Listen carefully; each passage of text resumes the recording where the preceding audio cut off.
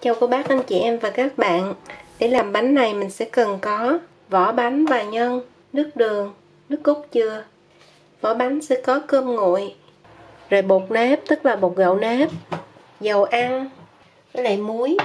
Có đậu xanh nè Nước cốt dừa Đường thốt nốt hoặc là đường thẻ đường tán. Đường cắt vàng cũng được luôn Rồi vani hoặc là lá dứa. Hành lá để mình xào nhân hoặc là hành tím mình có 50g gừng, bột gạo hoặc là tinh bột bắp, hoặc là bột năng cũng được luôn. Nếu không có hai loại bột này thì anh chị em và các bạn cho bột nếp và me anh chị em và các bạn cũng có thể làm nhân dừa. Hôm trước mình khuyên có chia sẻ rồi. Mình cân đậu xanh, đã cà vỏ. Mình lấy 150g sau đó đi vo rửa cho sạch. Mình cho vào đây 700ml nước trong lúc nấu cái này mình Khuyên sẽ chia sẻ cách làm bột luôn. Nếu anh chị em và các bạn nào chưa coi video bánh ít trần đó, thì có thể coi video này. Bởi vì là mình lấy rằng nửa mình làm bánh ít trần, với lại nửa mình làm cái món này. Mình cho vào đây một muỗng cà phê muối, rồi quậy lên. Mình nấu mở nắp chờ sôi. Sau khi đậu sôi, anh chị em và các bạn sẽ hạ lửa xuống trung bình và tiếp tục mình nấu trong vòng 4 phút mình đổ hết cái nước trong đây ra. Mình rửa sạch đậu. Sau đó mình chế nước cao hơn mặt đậu 5mm và nấu mở nắp chờ cho đến khi cạn. Mình sử dụng cái máy xay sinh tố. Mình lấy vào trong đây khoảng 2 chén cơm. Nó cũng tùy theo, ví dụ nó nhão quá là lúc mình làm cái lượng nước nó sẽ khác. 390g cơm nên chị em và các bạn có cái chén này nè là 280ml còn cái cup đó là 250ml một cup bột gạt ngang, cân được khoảng 130g mình sẽ đông lấy là 350g một muỗng cà phê muối. Sau đó mình đi nấu một bình nước sôi. Mình lấy 300ml nước sôi. Nhớ là nước sôi sùng sụt đó để chút nữa mình xay cho nó nhuyễn hay là 300 gram. Mình cho vào trong cơm để xay. Mình để xuống nhỏ cho nó mạnh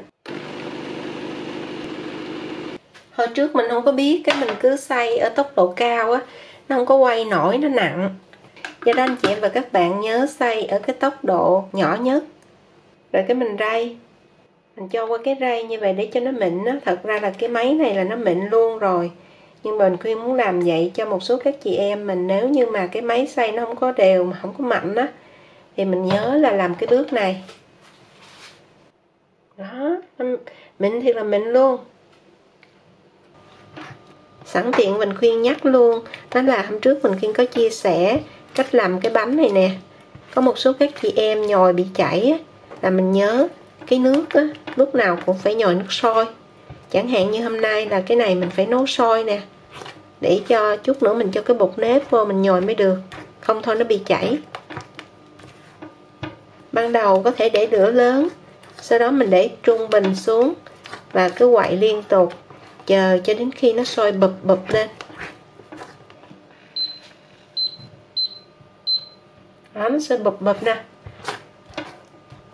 Thì mình cho bột nếp vào lúc này mình tắt bếp luôn. Nhớ là tắt bếp, mới cho bột nếp. Và cho từ từ. Sau đó mình trộn. Cái chảo mình vẫn để trên bếp, nhưng mình tắt bếp cho nó nóng á. Khi mình trộn thấy nó bám đều vô hết rồi, thì lúc đó mình mới cho tiếp. Anh chị em và các bạn đừng cho hết, mình sẽ chừa khoảng 50g lại chút xíu nữa. Mình kiểm tra nếu như mà thấy nó thiếu á, thì mình cho thêm chứ không thôi nó dư là nó bị khô. Rồi bây giờ mình sẽ nhấc nồi ra khỏi bếp nè. Anh chị em và các bạn nhìn thấy không? Ở đây cái hơi nước nóng nó bốc lên á là nó còn nóng á. Đem ra đây tiếp tục trộn. Rồi mình cho hết bột nếp luôn. Và bây giờ thì cho ra bàn để nhồi trước khi nhồi, mình sẽ cho chút xíu dầu ăn xuống dưới mặt bàn. Một muỗng cà phê. Do mình vừa quay phim, thành thử ra mình mang bao tay. Anh chị em và các bạn có thể rửa tay sạch sẽ để mình nhồi. Xoa mặt bàn. Xoa luôn cái tay. Bột mình cho ra. Rồi, mình sẽ nhồi lại thôi. Nó đang cũng còn nóng nóng anh chị em và các bạn, thì nó mới kết khối lại. Sau khi mình nhồi khoảng 3 phút thì đã thấy bột nó kết thành khối. Lúc mình nhồi để cho nó không dính mình dùng cái chỗ này. Mình cho vào đây một muỗng canh dầu ăn, khoảng 15ml anh chị em và các bạn lưu ý trong quá trình nhồi, nếu như mà mình thấy nó nhão quá thì có thể cho thêm bột khô còn nếu thấy khô quá thì cho thêm nước sôi. Nhớ là cho nước sôi. Mình đã xong. Lúc này cái bột khi mình để nè mình thấy nó đứng nó không có bị chảy. Và mình lấy xíu bột lên. Mình thấy nó dẻo và mềm. Không có bị nhăn nhăn à, không có bị răng cưa đó. Nếu mà răng cưa là bột bị khô dẻo mềm như vậy nè là được rồi. Hôm nay mình sẽ làm hai loại bánh mình chia hai ra nè. Tức là mỗi cái phần bột như vậy đó là khoảng à, nửa ký. Sẽ cho đường vô để làm chè, sôi nước hay là trôi nước. Một muỗng canh khoảng 20 gram. Khi mình cho đường vô là nó sẽ dư cái chất lỏng.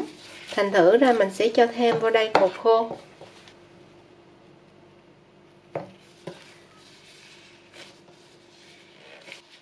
rồi mình sẽ nhồi lại cho đến khi nó dẻo mịn.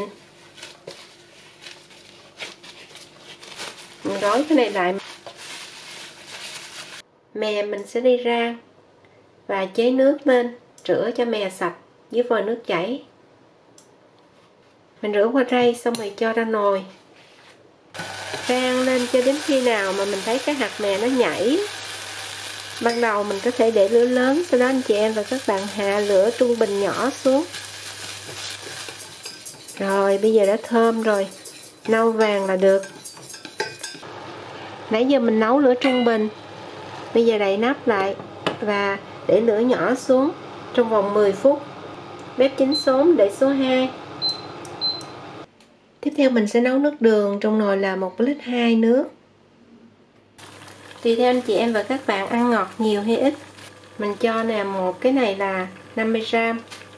6 300 gram. Gừng mình sẽ cắt lát hoặc là cắt sợi tùy thích. Rồi mình cho vô nấu luôn. Mình nấu lâu một chút xíu cho nước đường nó sệt sệt lại. Rồi sau 10 phút, cái đậu lúc này mình nhìn thấy nó cũng chín rồi mình lấy cái nước dừa phía bên trên. Cho vào đây khoảng 3 muỗng canh như vậy là khoảng 50ml tùy theo nhà ăn ngọt nhiều hay ít, anh chị em và các bạn sẽ cho đường. Mình khuyên cho khoảng 50 gram đường luôn. Rồi mình đánh lên bây giờ bếp ở dưới mình đang để số 4 sau khi trộn đều xong anh chị em và các bạn đậy nắp lại, rồi tắt lửa, để đây thêm 5 phút nữa. Mình cho hết nước cốt dừa 350ml 3 muỗng canh vuông đường, khoảng 60g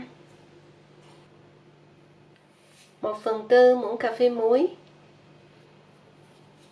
Để làm cho nước dừa sệt, mình lấy 50ml nước lạnh 1 muỗng canh, bột gạo 10g một muỗng canh bột năng cũng 10 gram. Sau đó mình quậy đều lại cho tan mình cho hết vào đây. Quậy đều lên xong rồi mình mới mở lửa lên và nấu. Chờ cho đến khi sôi. Và cái nước cốt dừa này nó đặc lại.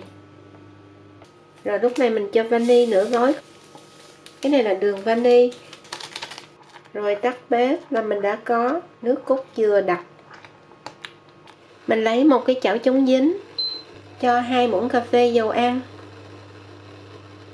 Phi đầu hành trắng. Cho đến khi nào mình thấy nâu vàng, rồi mình sẽ cho cái đậu xanh. Mình nấu cái cách này nó không có chín nồi. Để mình sên và lấy cái cây silicon này chịu được nhiệt 270 độ C đó, hoặc là cái vá gỗ. Anh chị em và các bạn đánh cho nó nhuyễn ra. Mình đang để lửa trung bình.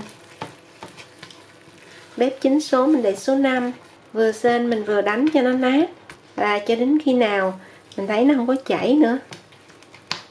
Bây giờ nó gần được rồi. Khi mình thấy nó đứng không có chảy á, thì lúc đó mình cho vani vô nửa gói hành lá luôn. Rồi, đánh lại, trộn đều lại là xong. Nhân này mình có thể chờ cho nó nguội chút xíu, để mình bắt cho nó không có nóng tay.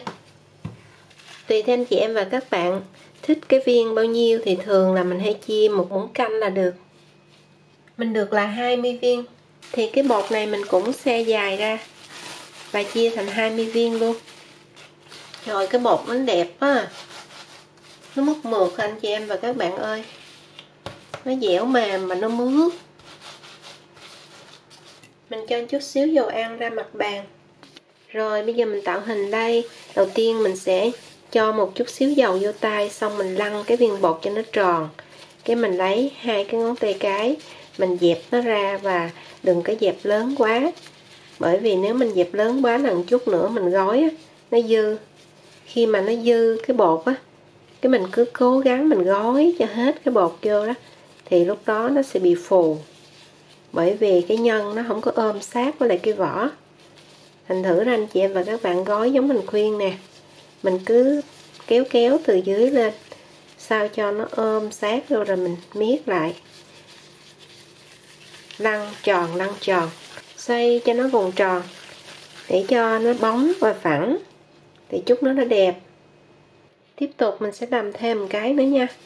Để chị em mình nhìn thấy dễ hơn nè. Đầu tiên cho dầu ăn vào trong tay, xong mình lấy một viên bột, cái mình cũng vo tròn cái viên bột này lại. Để cho khi mà mình tạo nó ra vậy nó dễ nè. Mình tạo giống như là một cái giếng vậy đó. Anh chị em và các bạn chưa có kinh nghiệm thì mình tạo xong cho nó nửa cái viên bột. Thì lúc đó mình kéo lên kéo lên là nó vừa kéo lên kéo lên. Rồi ghép cái mí lại.